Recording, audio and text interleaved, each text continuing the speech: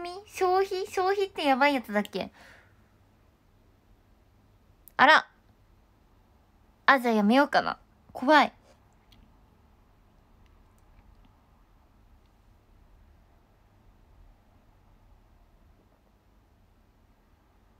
本当？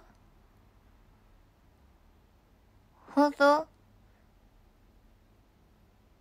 ?2 時間いける？いや冷蔵庫入れてなくて。で8時過ぎ？9時前くらいに帰ってきてさっき冷蔵庫入れたんですけど大丈夫？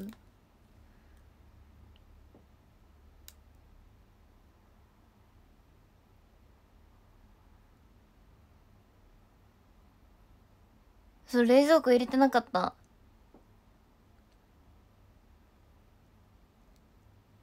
そう今日朝食べようって思ったんだけど食べなくて。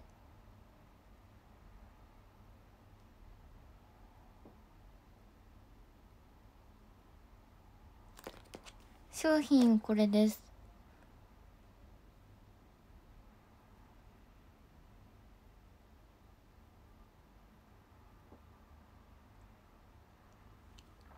明日？明日あるな。ちょっとやすやめよう。やめます。代わりにね。こっちを食べよう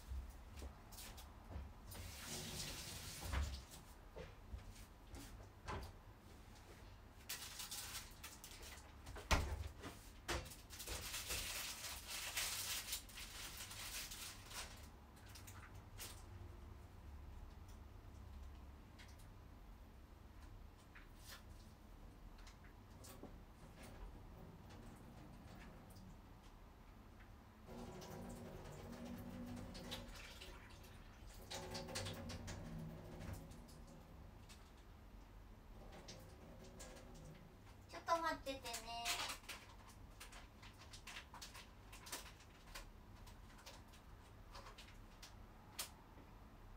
ちょっと待っててみんなすぐ戻るよ。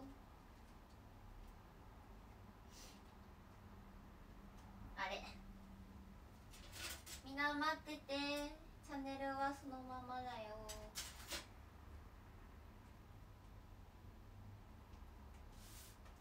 よし。池丸です。よいしょ。ただいま。豆腐そうめんを持ってきましたうんちょっと食わすつけていい？前髪が浮いてる。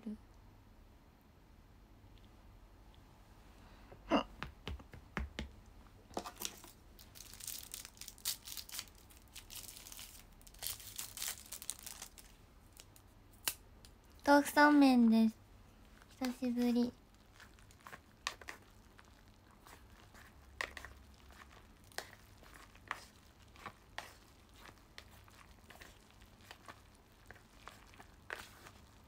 ちの3匹御三御三家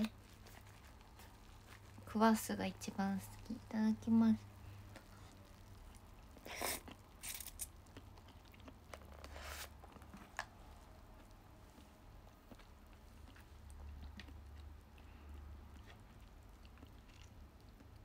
えー、ありがとう。ちょっとすっぴん失礼いたします。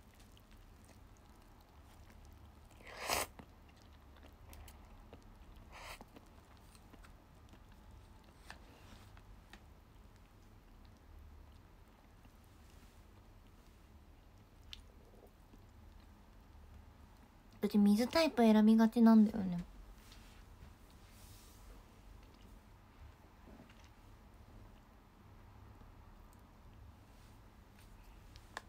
豆腐そうめん。ダイパだとポッチャマ。ナイトルとか逆に選んだことなくて。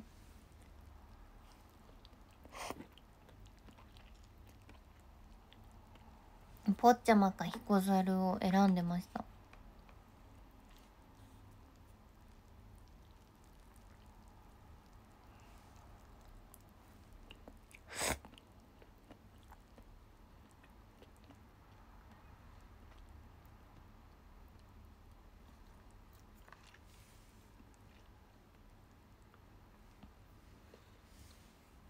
土入りです。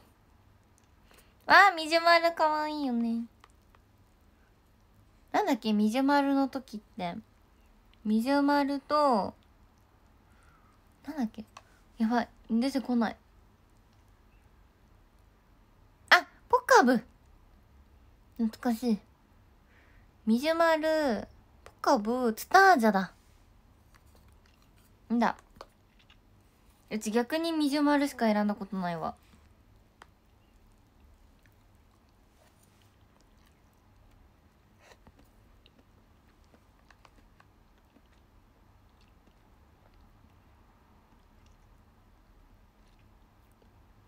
ポケモンはポケモンはじゃない間違えた。豆腐そうめんはあの専用の水を一旦切って専用のつゆを入れて食べますえ、そう全然違うこと言おうとしちゃった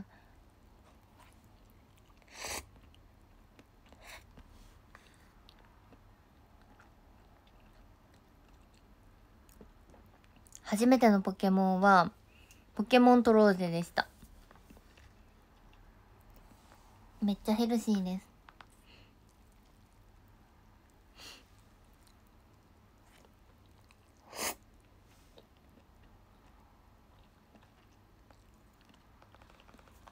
でレアかなからのエメラルドをやりました。ゲームボーイの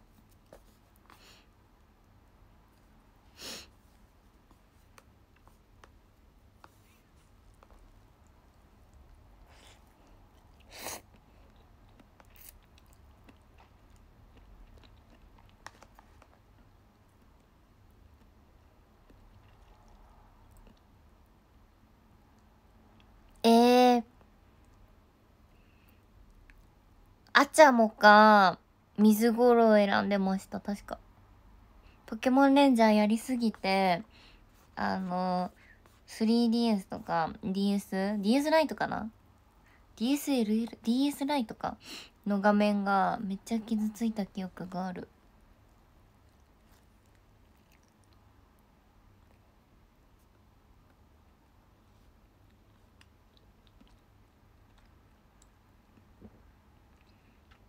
そうタッチペン。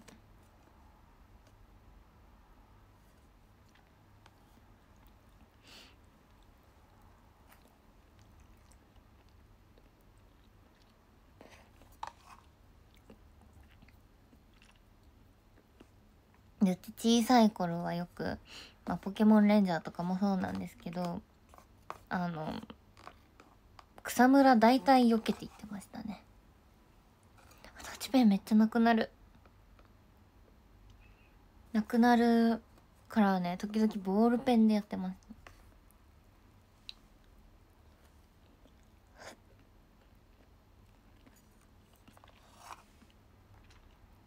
うちポケモンレンジャーやっててなんか衝撃だったシーンがあってスカンプかな？スカタンクかな？なんかええー、みたいな。強烈な匂いがみたいな感じのシーンあったよね。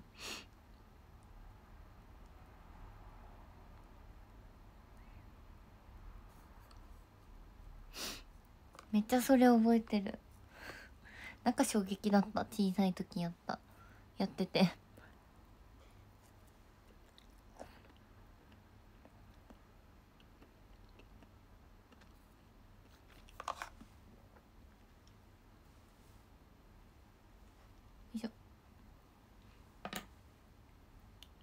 レンジャー懐かしい。ほ。ちょっと待ってね。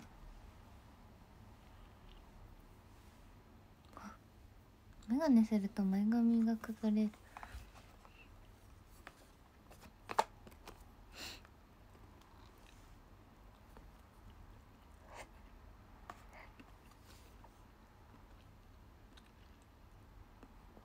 あー出てたかも。そうなの。鼻当てあ何？ついちゃうんだよね。めっちゃ。あとついちゃった。本当に？もうねなんかすっぴん弱弱そうだなっていつも思う。うち自分の顔見て。やっぱまつげを塗ったらすごいうちの目は目力がマス目だと自分なりに分析して思ってるからアイラインもそううちマスカラとアイラインが大事だと思ってて自分の目に。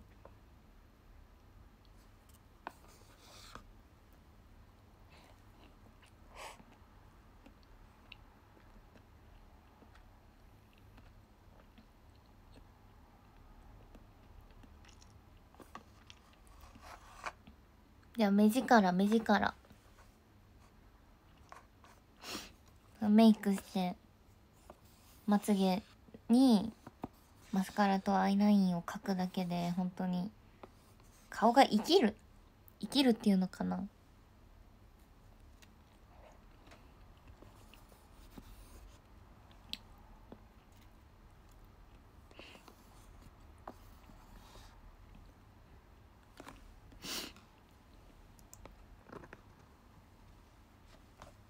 うん。美味しかった。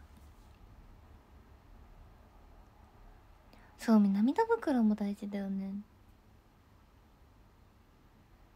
えー、よくハーフアップか三つ編みか。一旦縛り直します。あでも下ろしてもいける？ちょっと髪がさそう武道館前に美容室行きたくて。ちょっとパサパサなんですけど。ちょっとノーアイロンで。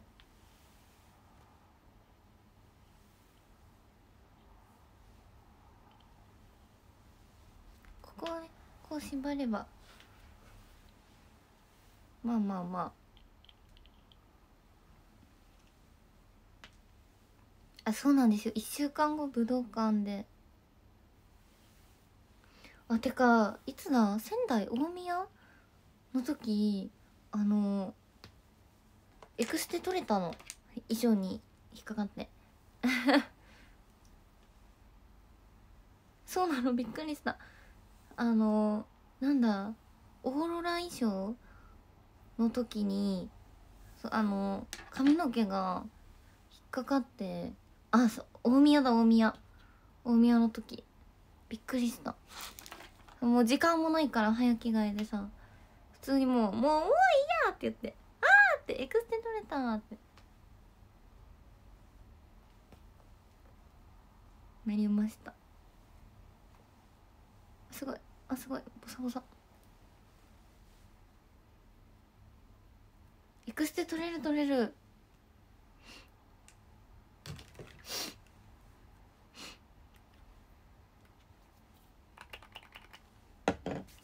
そううちシールタイプをねつけてます。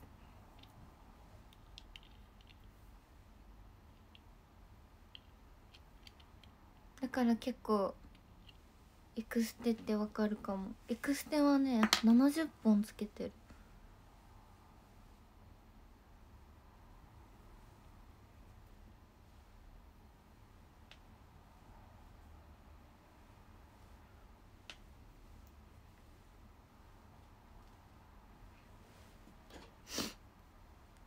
初めてつけた時はエクステ80本でした。多分多い方どうだろう。いていて。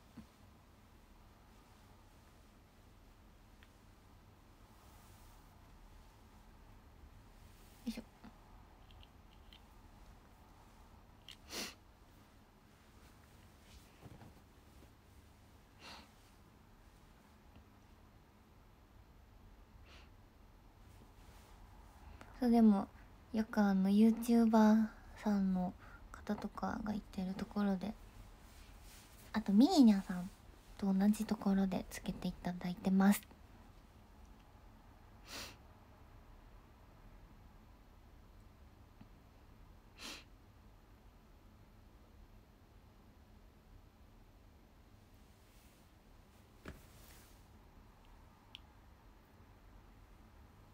あもう松葉も美容師も絶対行くよ。当たり前じゃん。絶対行くよ。なんならもう予約してます。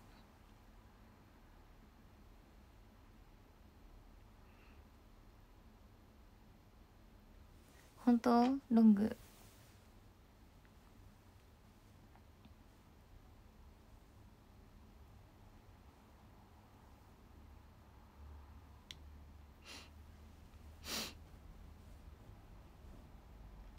そう1週間後でね今日も10時から20時くらいまでリハしてました。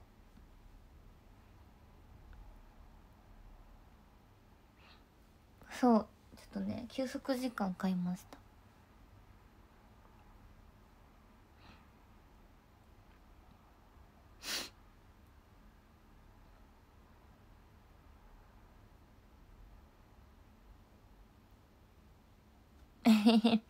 ありがとう。何も言えないです。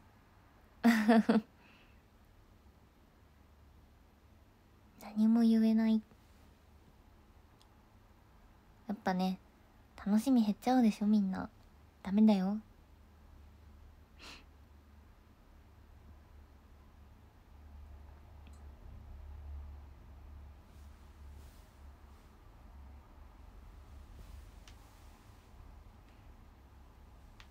嬉しいマシュマロ食べたの？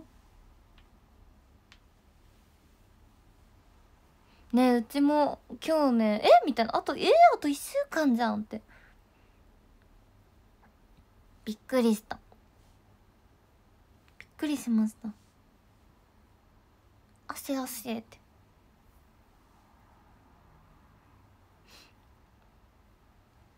汗汗で。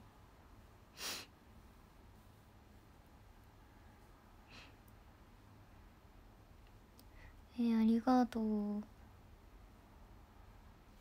そうなんですよね。ライブが。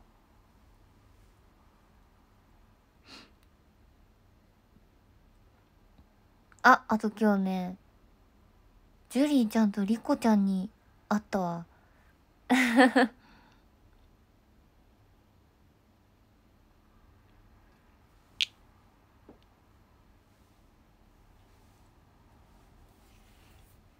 サイン会前かな？多分。買い方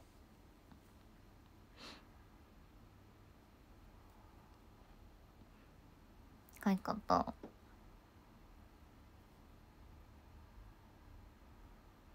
えやっぱどうですか？皆さんも武道館、まあ、楽しみ楽しみにしてらっしゃる方たくさんだと思うんですけどやっぱ緊張とかってしますか？ドキドキなんて言うんだろう。なんか緊張しますか？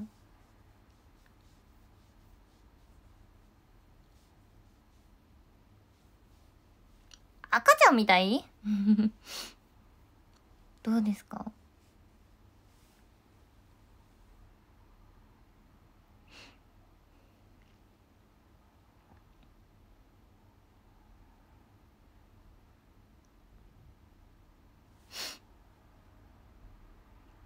もうね武道館の髪型は決まっているのでお楽しみに。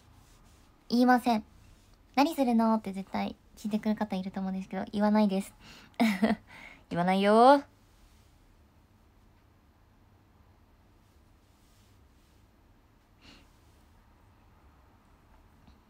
言わないよ。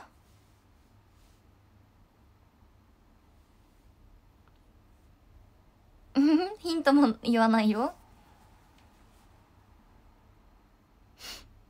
言いません。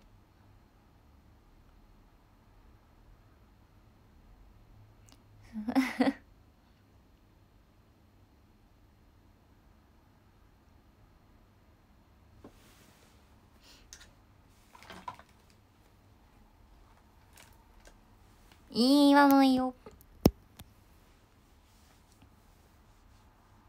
絶対言いません。まあ予想してみて。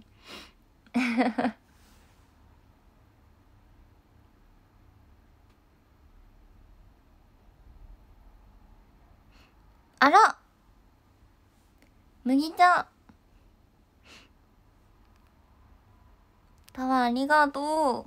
くまちゃん。くまありがとう。200回目？?200 回目訪問なの？ありがとう。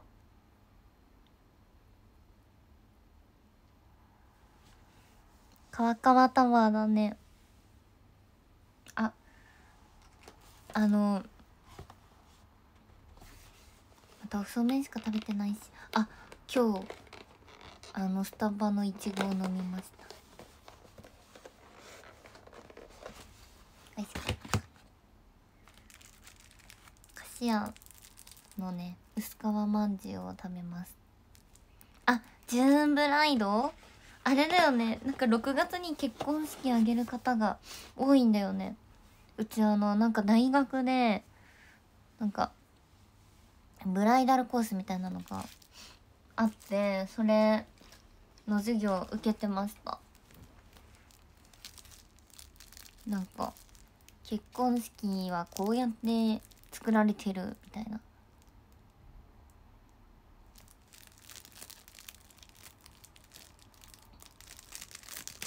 なんかどういう気持ちでみたいな。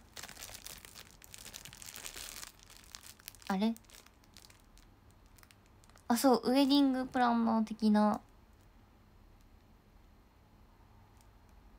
感じのでなんかそのブライダルの結構有名な方が講義に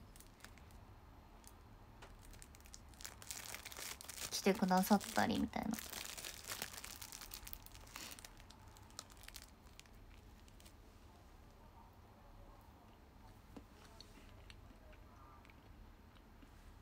え結婚式場でバイトしてたの？すごい。うちも一回経験してみたい。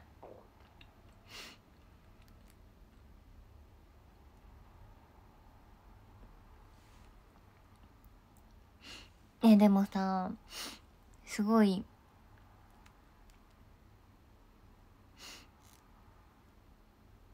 確か珍しいのかも。ウェディングプランナーってなんかかっこよくない？かっこいい。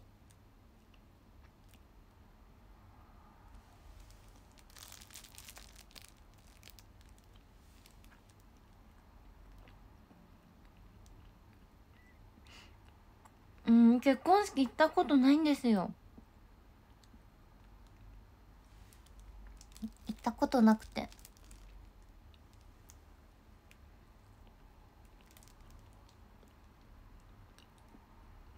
えでもダイウェディングプランナーさんって超やりがいを感じる仕事だと思う。今今とっさに。考えてみたけどって結婚しますって2人の方がいて。ねほんどういう式にしたいか。どういうなんか思いを込めるかみたいな。で家族の思いはみたいな。考えていざ結婚式。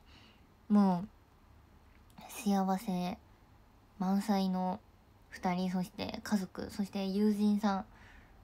えもなんかそれでみんな感動してたりさ幸せな空間だったらさうちだったらめっちゃ「わーって素敵っての大切な日をなんか預けてくださりありがとうございますみたいな。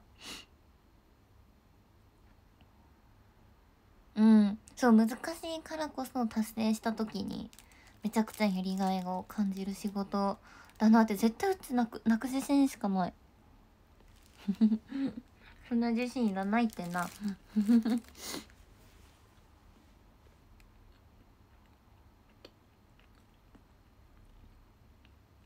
うんそうだからうちやりたいのはあのマネージャーさんが結婚したらめみーちゃんが「あの Not Call Me」を踊る歌うっていう。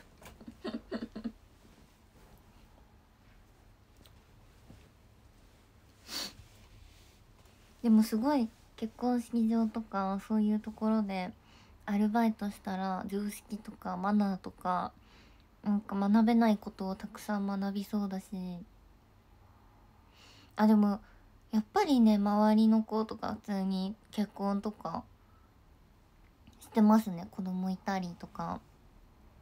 なんか部活中学生の時にテニス部一緒だった子があのねその時普通に福島に帰ってていつだ？去年の3月あたり。宮添ちゃんのあの配信があった時にその友達ともう一人仲のいい友達とあの見てました。その時はまだねお腹に赤ちゃんがいる状態で。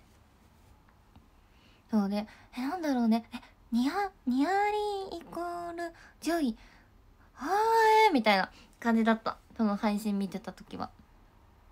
そうその子とね一緒に見てました。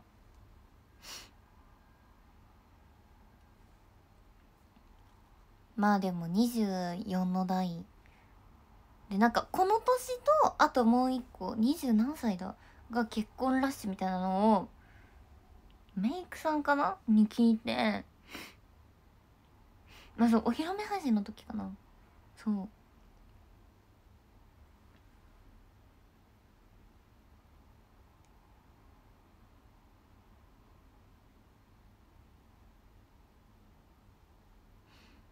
えー、でも結婚とかピンとこなくないですか？わかんない。どうですか？皆さん。フラッシュモブ。えフラッシュモブって本当にあるの？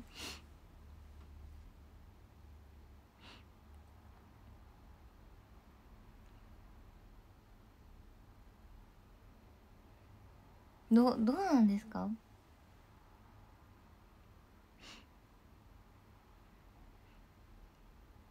どうなのみんな？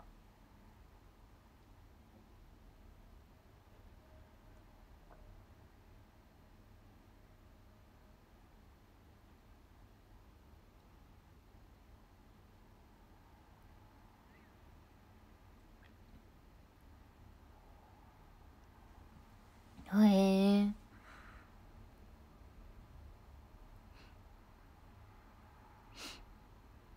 えー、結婚式出たことあるの？逆にみんな。うち結婚式ほんなんか行ってみたい。えなんかさお料理とかたくさんあるんでしょ？えわかんない。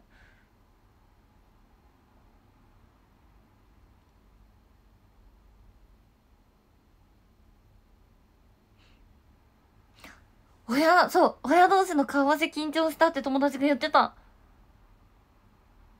言ってた。で写真も見せてもらった。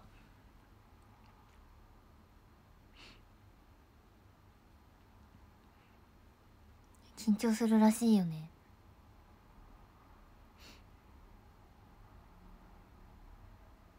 そうこの間話を聞きましたその。でなんかなんか綺麗なところでなんかなんかあのよくあのさ見るやつあのなんかえ？でそれでなんかなんだっけな友達に「え？なんてなんかなんてプロポーズされたの?」みたいに聞いたの。そしたらなんかその普通にご飯を食べようって言われてたんだって。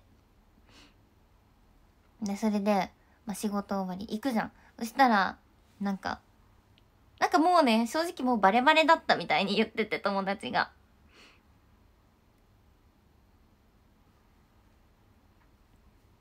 でなんかご飯食べた後になんかななんかなんだっけななんかそのなんかなんだっけななんかエレベーターに上がってなんかこちらでお待ちくださいみたいに言われてなんか今準備してますのでお待ちくださいみたいに言われたんだって。でもなんか準備みたいな。もうバレバレみたいな。言ってて。でそれでなんか行ったらなんかそのなんか待っててなんか言われたって言ってて「わー!」って「!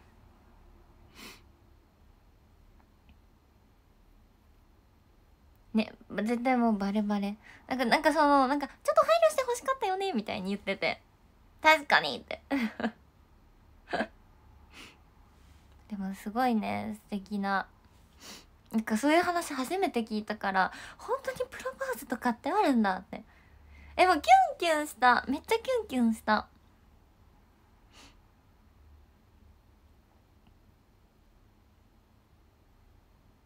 でもやっぱそういうさ大事な日ってさ絶対なんか盛大にやっていいと思うんだよねうちは。なんかベタでもいい超ベタでいいなんなら逆に。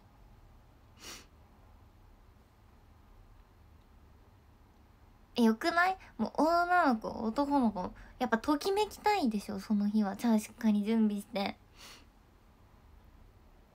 準備して準備して。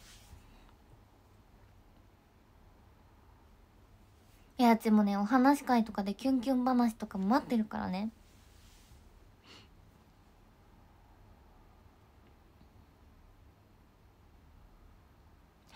え理想のプロポーズのシチュエーション。えなんだろうね。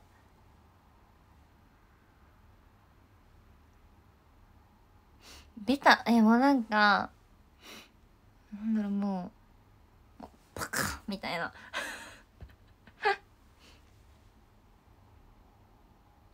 パカーあのパカーカバのカバーみたいな。ね。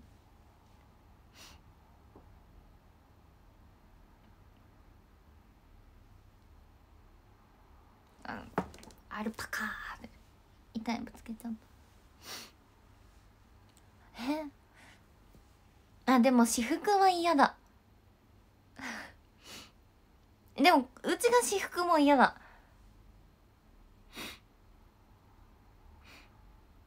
バラ百本とかめっちゃいい夢。やっぱ漫画の世界に飛び込みたくない。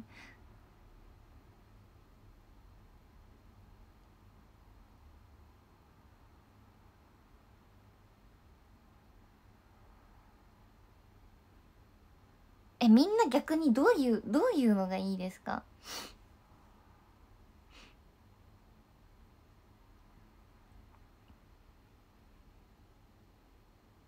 どうどうヘリでお迎え？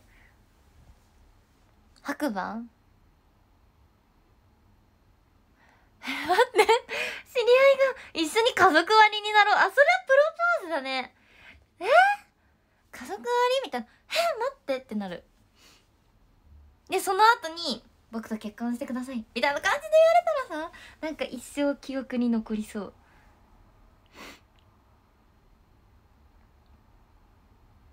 え日常生活の中で「え今日ご飯おいしいね。おいしい。結婚しよっか」みたいなこと？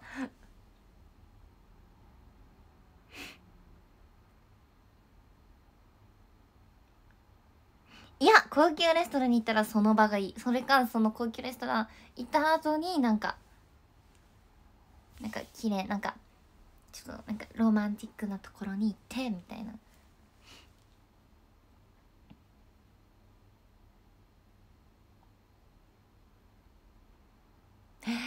名字をさらいにしようとか。えやば。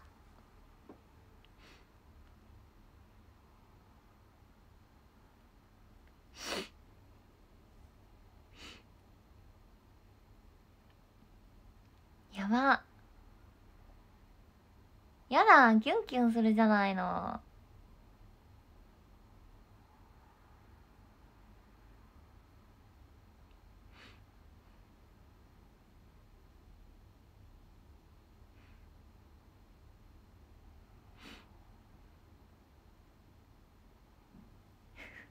すごいみんなノイミーに絡めてくるのかわいいね。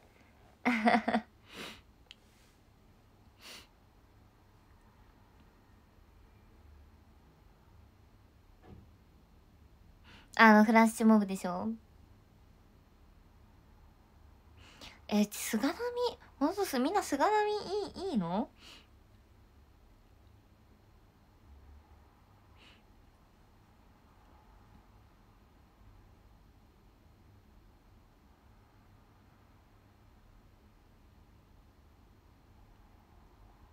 本当に？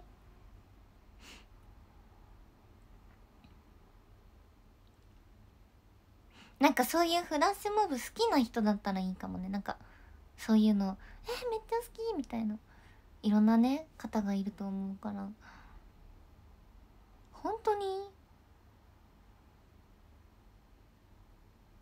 あなんか最近フラッシュモブ見たのは警備員さんが「ダメですダメです」みたいな。ちょっとあっちでここやらないでくださいみたいに注意してる注意してたのにめちゃくちゃダンスがうまいみたいな。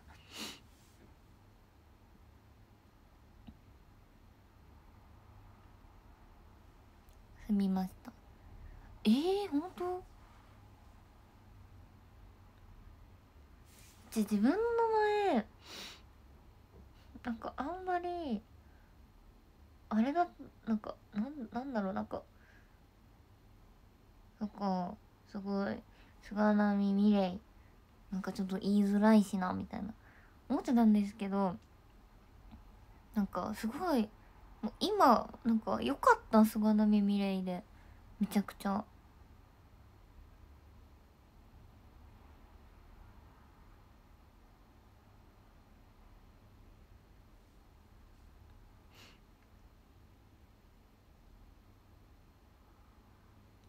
そうでもミレイはミレニアム確かミレニアムになんだっけななんかよく小学生の時字をなんか自分の名前の由来はみたいな。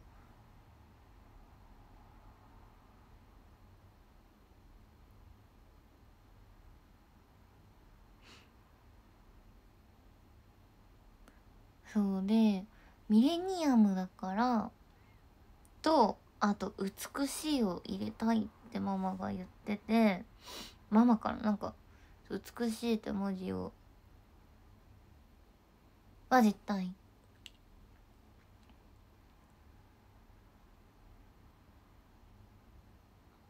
そう2000年生まれ生まれ2000年生まれでミレニアムベイビーだったんですよね確か。だから結構うちらの年ミレイが多かったり実はするんですよ。そうなんですよ。一応99の年だけど00の生まれは。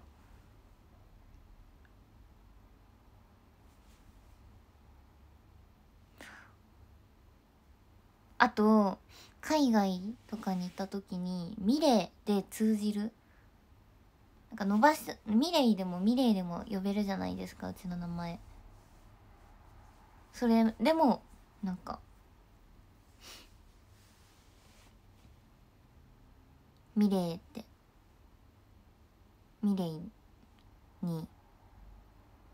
めっちゃめっちゃね他にも。他にも。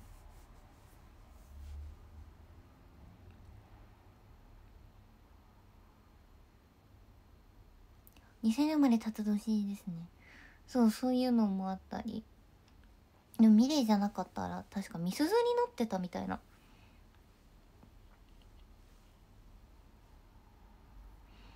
あそううちローマ字の大文字のミレイは好きだった。けど小文字は特に好きではなかった。でえそこうちのこれは多分ねあの感覚なんですけどカタカナの菅波ミレイは好きじゃなくて。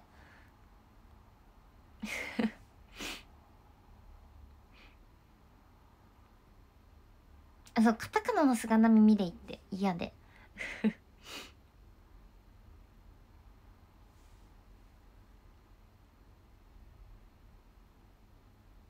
かやくまありがとう。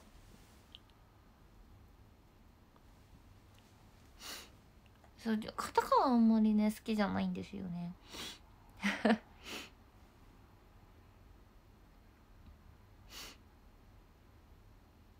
そうひらがなは特に別に普通で。大文字のミレイは好きでした。なんだろうなんか菅波ミレイなんかかなんかかかたかたくない？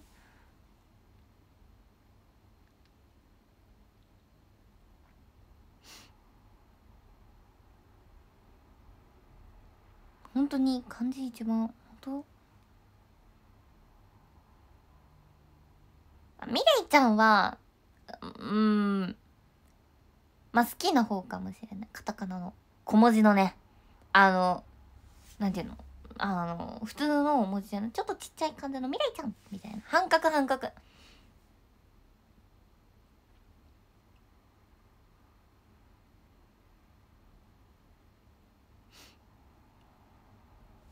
ミレイちゃんミレイちゃんだよ。あ半角かわい。いこれ感覚的な問題です。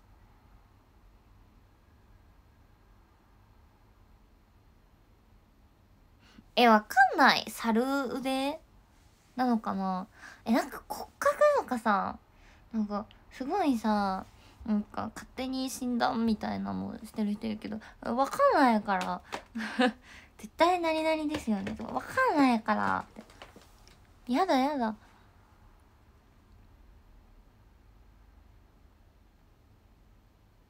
そうでもそれはそうかもしれない。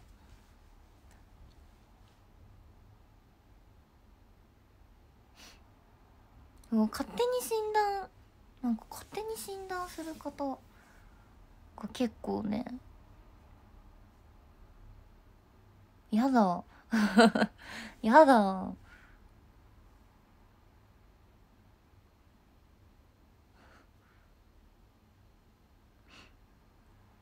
えなんかえなんか何々だから何々は似合わないよとか。いやいやいやいや。いやいやいやちょっと待てちょっと待てって。なんでそんな決められないといけないんだって。なんでだって。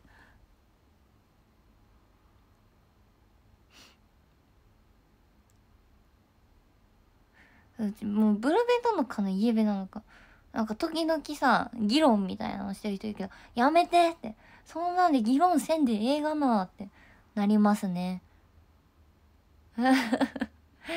なりますね。まあお金がかかります。調べる。普通に。なんか診断しようとすると。だよね。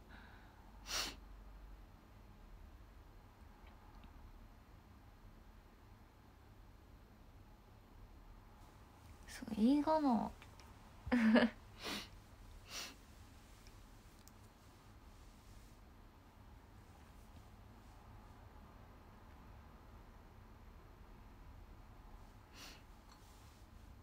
そうあともう一個疑問がある。え？あユニットまあたくさんあるじゃないですか。え？なんかオフショルニットのメンバーだけオフショルメンバーって言われるんですけどなんで？これずっと疑問なの。なんで？え なんで？えなんで？えだって他にもユニット。だからオフショルが先のユニットとかでもないからさ。えなんで？って。そうなんかオフショルメンバー。えー、なんで？え わかんないの。そうオフショル組とかめっちゃ。そしたらハピター組もあるしさ。白明光線組も。そうなんで？えそうそのユニット名しか言われないの。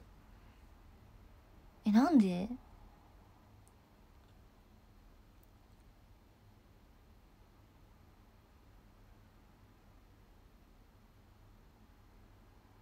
白明組とかさハピタン組とか。ハピタンメンバーとかあるじゃん。でもオフショルなんか謎にオフショルメンバーオフショルメンバーって。多いのかな？そうなんかでも謎に謎だったずっと。なんで？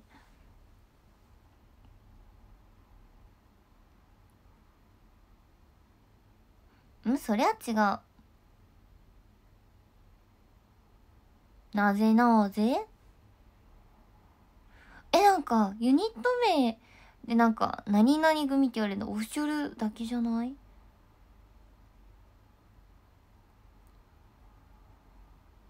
なんでだろうって。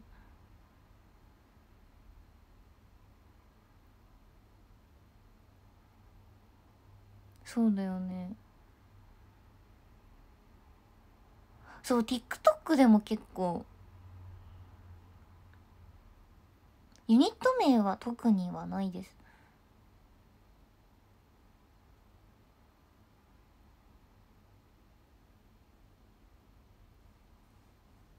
なんでなんだろう。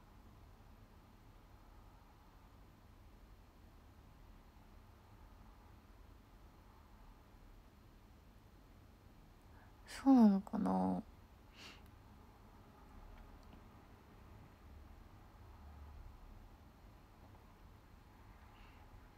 そうなんか何々組は何々だみたいな。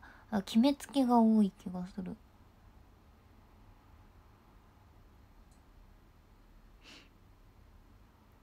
いやうちはハピターはちーたんのねそうにも本当にも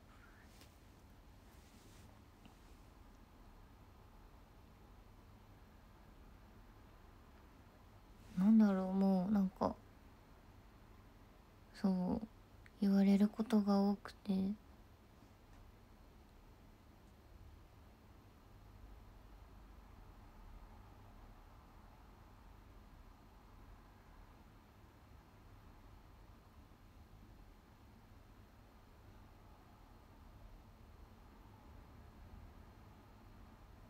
そうなのかな。めっちゃいるってことなのかな。いやユニット名別に公式ではないですね。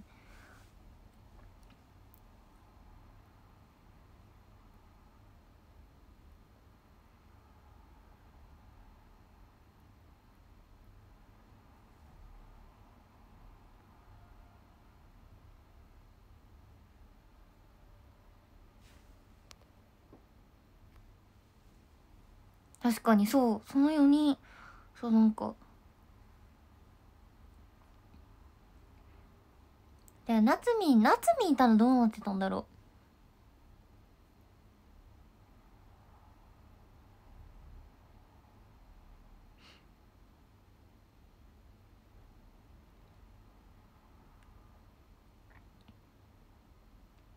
う？いや結構前からもう1年前とかからずっと言われてて。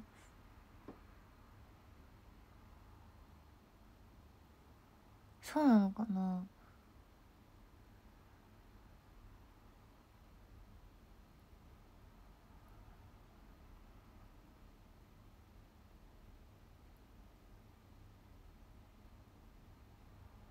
ああそうなのね。難しい。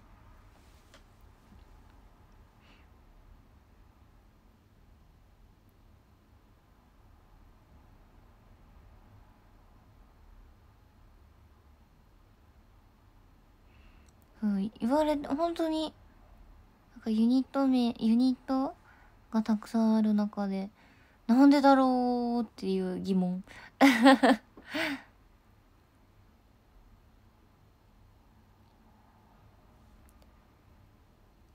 えなんなんかすごなんなんか他のユニット言わないのかなみんなってなった。ファンのみんなが？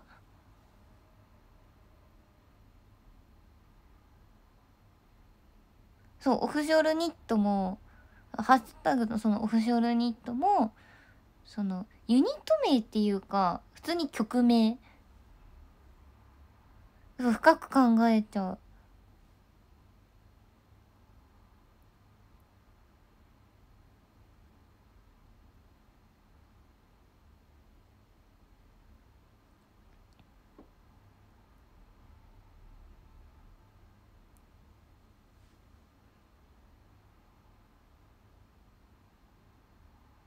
でもなんか白明のさんに「なんとかかんとか」っては多分言わないじゃんみんな。なんか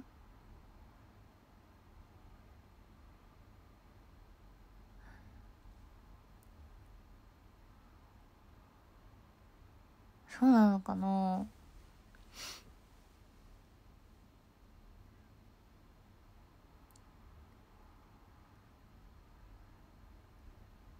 深く考えちゃった。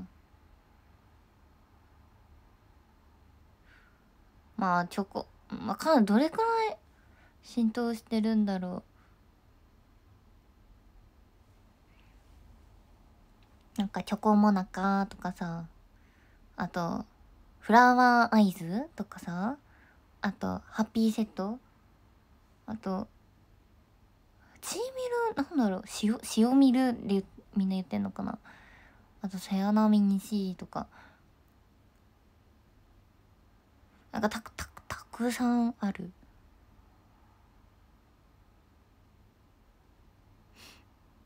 ナミちゃんズもひいさよひいさよはひいさよなんだろ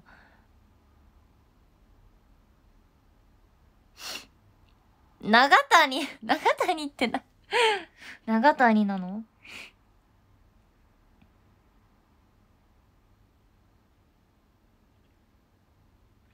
あチビーズ？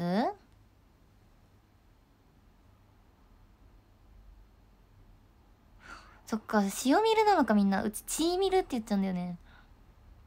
まあ、ぜ塩ミルなんですけどみんな読んでるのが。てるてる姉妹待って。なんだっけそれ。萌えちゃんと。あれ？誰？萌えちゃん？萌えちゃんだっけ？あーリンリンセブン？なつみんがあそううちチータンチータン読みなんだよね。え、なんていうの？それは、でんでんで合ってる？タタ、でんでん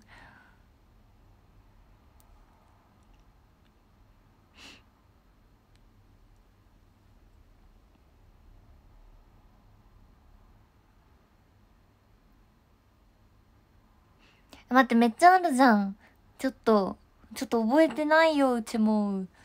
待って、みんなそんなに作ってるの？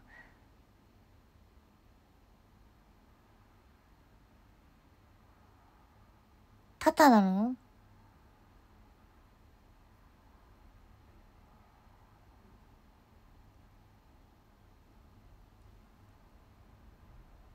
た、たたでんでん？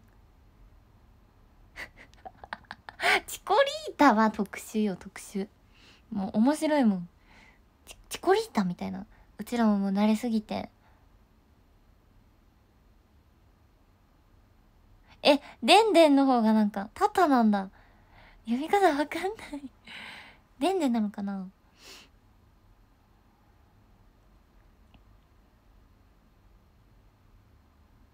そういう話マジであんまりしない。なんか、え、わかんない。わざわざ聞かな、聞かなくない？なんか、なんでコンビ名それなの？とか、なんか、コンビ名羨ましいって言ってる人みたい ねやだ。恥ずかしいじゃん。なんか私も入りたいとか思われてたらどうしようみたいな。ね恥ずかしいから聞けない。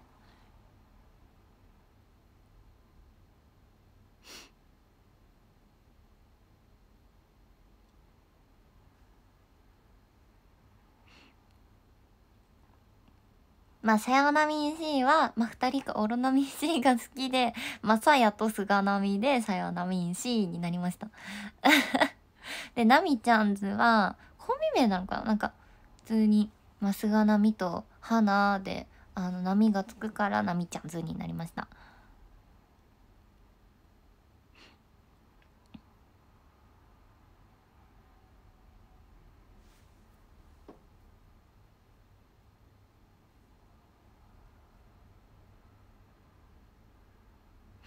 日見れは特にないよ。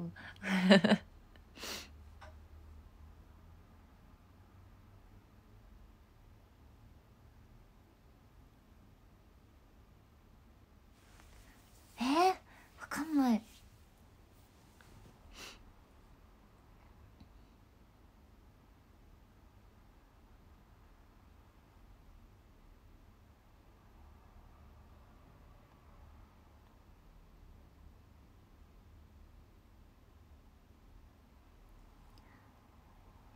みえひみえないですね。なんか。じゃ別に。なんかコンビ名。なんかなんなんだろうなんか。別に使わなくてもいいんじゃないかなって思ってる。思ってる人だから。ナミちゃんズは多分コンビ名っていうよりかはなんかうちが適当に書いた気がする。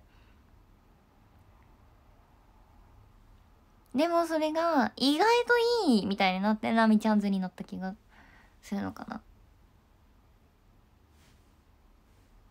特に深い意味はないよね。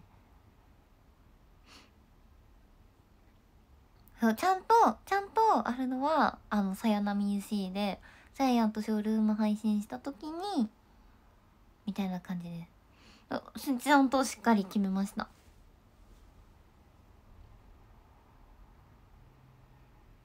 ダイナミン C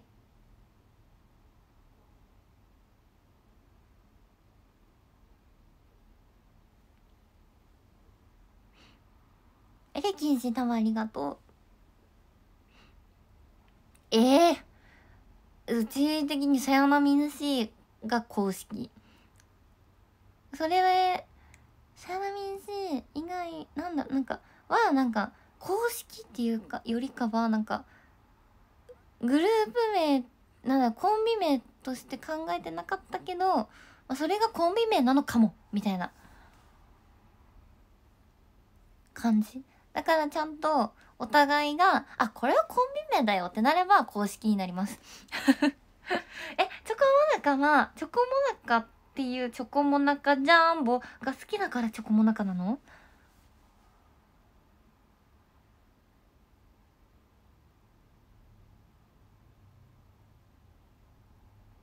え？そ なんでチョコモナカなの？え聞けない。5年目にしてさ。5年目にして。えそういえばさなんかともえちゃんの。コンビ名でなんでチョコモナカなの？って。えー？って言われて。えー？って言われて。絶対。えー？って。あー萌えななか。もなかチョコモナカだみたいな。はあ絶対それだ。絶対それだよ。絶対それだよ。チョコつけちゃおうみたいな。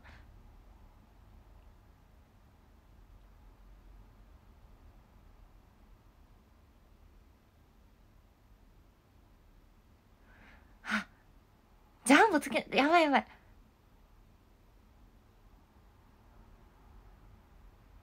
絶対それややばい。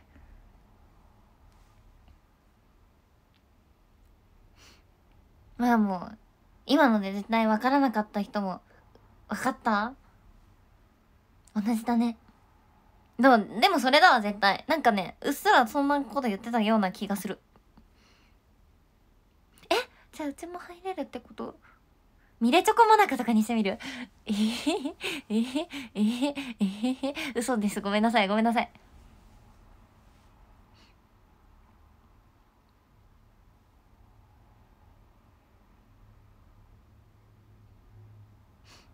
さすがに怒られる。中智恵ちゃんのファンの方に。嘘です。嘘だよ。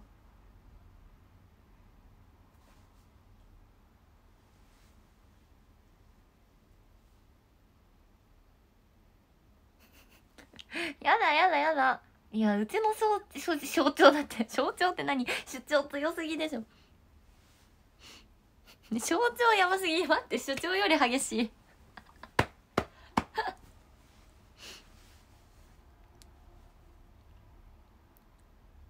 えもうやだよ。言わないよ。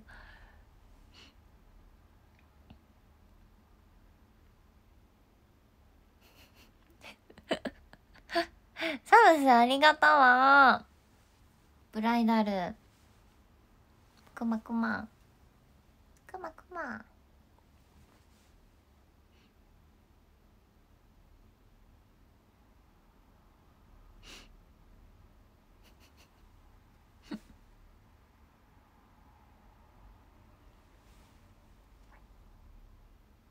ファンマークはないですね。作ってないです。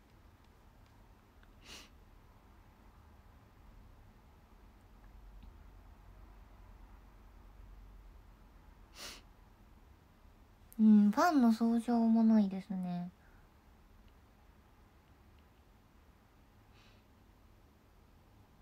ファンの総称だったらノイミーちゃんのファンの総称をうちは決めたいね。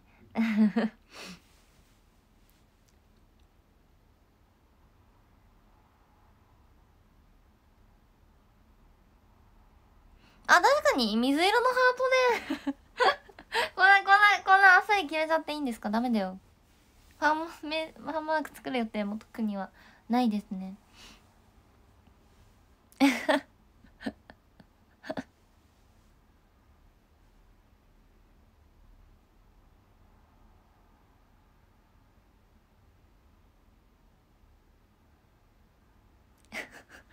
えー、なんかな作るのなみんなつけちゃうじゃん絶対非公式だよ非公式の 水色ハート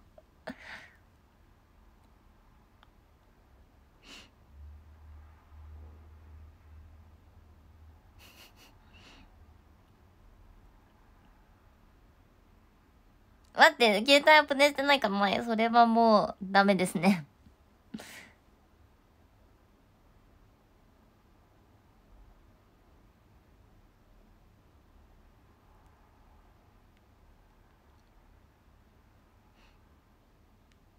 萌えちゃん見る 確かに。お、マシュマロ？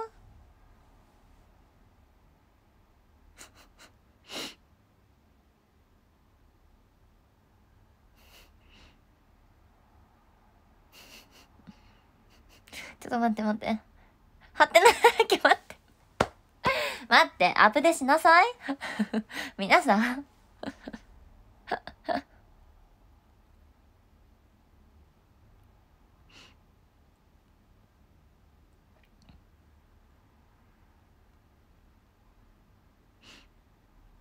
マシュマロとハートつけてくれるの？ねえコーギーの絵文字あったらよかったのにね。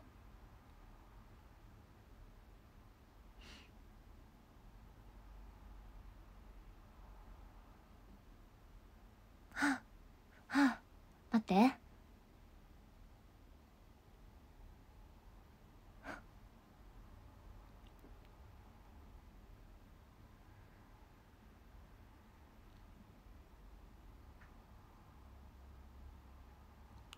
あ、弱い。あ、ダメかも。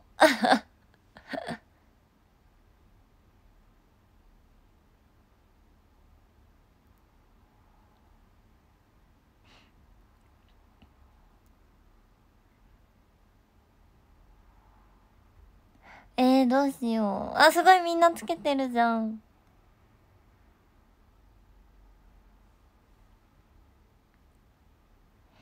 いやえー、なんかね実家のワンちゃんがちょっとそう体調がねまあ元気なんですけどね。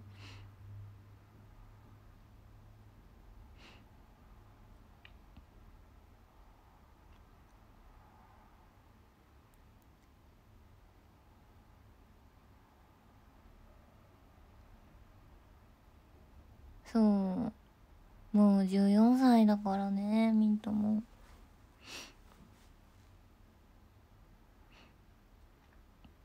そう26日にねちょっと手術をね。するんだって。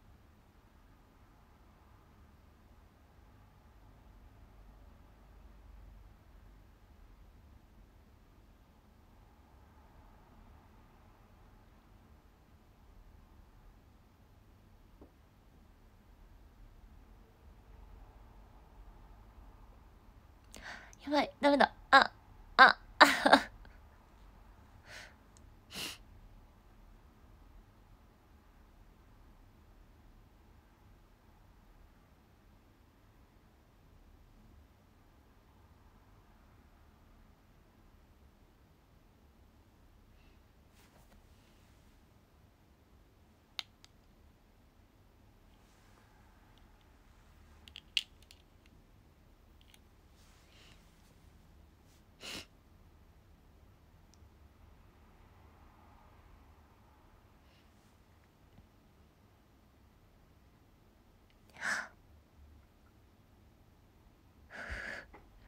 あああちょっと待って。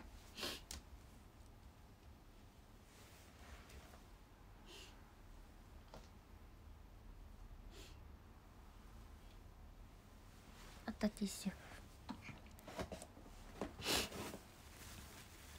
あでも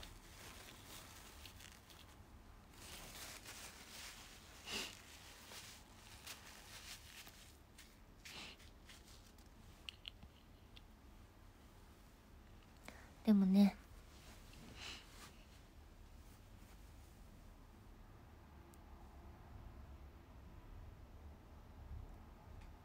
でもねママからねミントあれだけど元気だよって動画が今日来てしたらめっちゃ元気でした。吠えてた。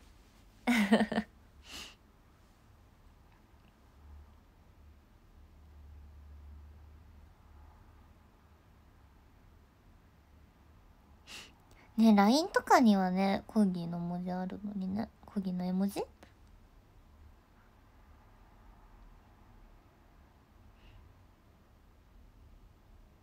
そうなの。だから一旦武道館が終わったらね絶対に帰るんだ。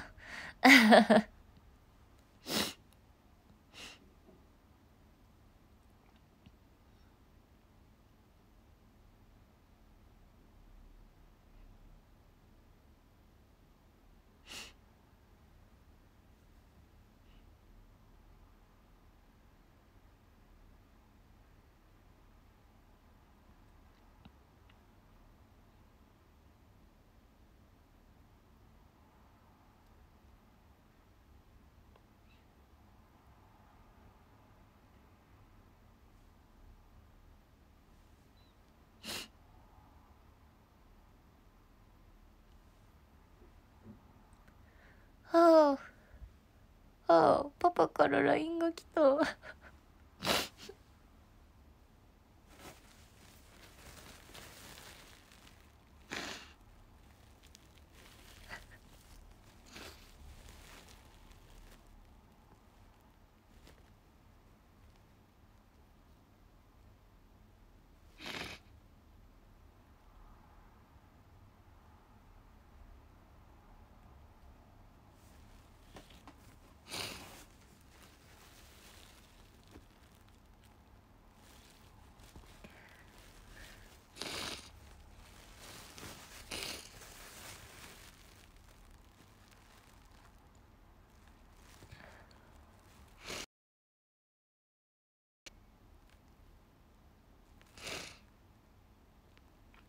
いやでもね今日配信しなかったら多分一人で夜めっちゃ泣いちゃうから。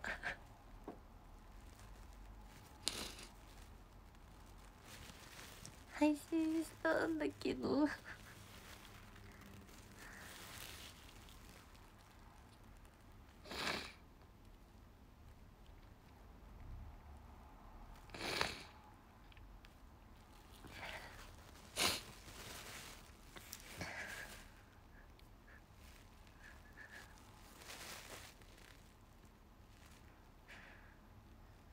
だって多分ママとかと電話したら多分大号泣しちゃうし多分ママも泣いちゃうから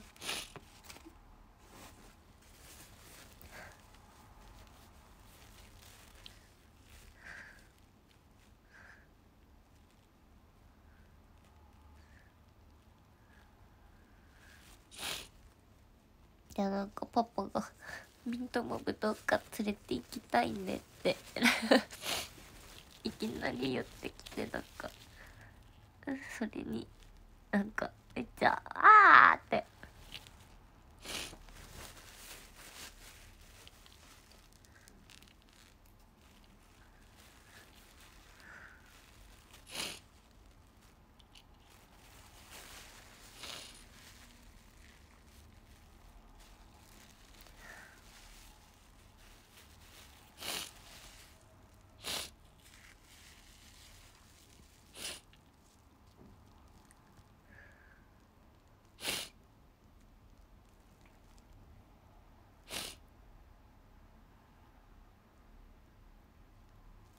はああやばい目が赤くなっちゃった。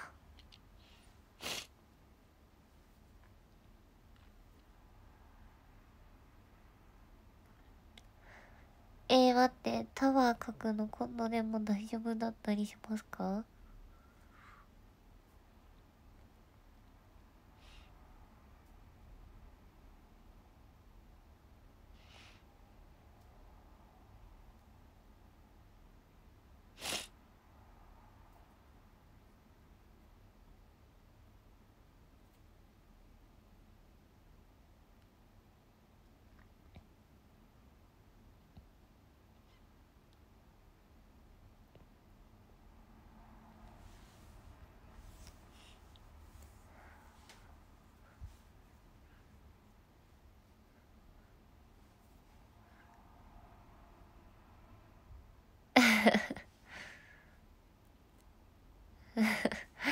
ベンの音はまあ許してもう一回。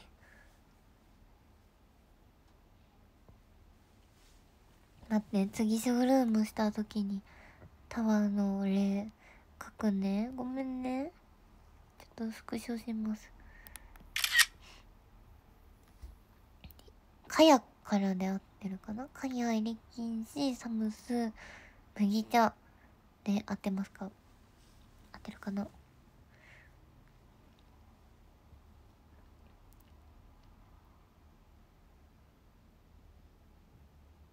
合ってる？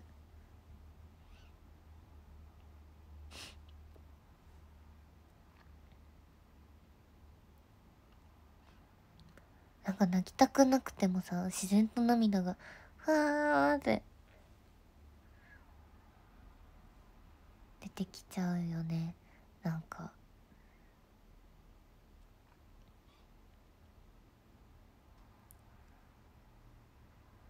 なんかふと。全然そういう泣くとかの気持ちじゃなかったのに。ふと。ふと。つーって。あれ？みたいな。そう喋ったらあれ？みたい意外とあれ？みたいな。そう多分。そう今日リハで一回涙出てきちゃったんだけど。泣いてたらさやっぱみんなにも迷惑かけちゃうから多分気張ってたんだよねきっとどこか。で今日家着いてお風呂入る前なんかママからの LINE 見返したら涙が溢れてきちゃって。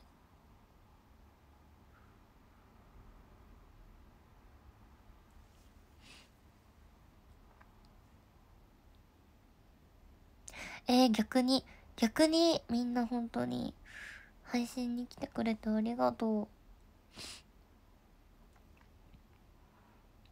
本当に。え、本当にありがとう。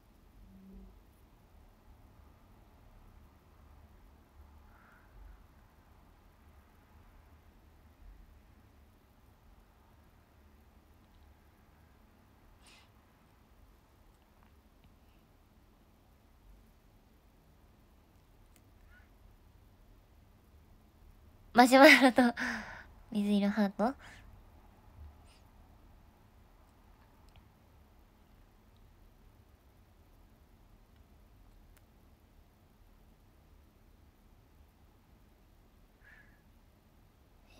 がとう。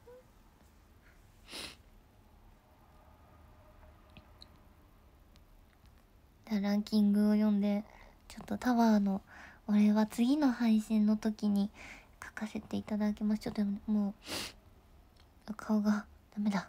いきます。13位たい焼き屋さんありがとう。12位しぐれありがとう。11位タラッタンありがとう。10位に10位クワンクワンありがとう。9位めぐろこありがとう。8位ゆとありがとう。7位まっこっつありがとう。6位キャメラマンありがとう。5位ケンネイありがとう。4位カヤありがとう。第3位エレキンシありがとう。3位おめでとう。そして第2位サムスありがとう。2位おめでとう。そして第1位は麦茶。ありがとう。1位おめでとう。そして200回。訪問も本当に本当にありがとう。タワーのお礼もねあの次の配信で書かせていただきます。今日書けなくてごめんね。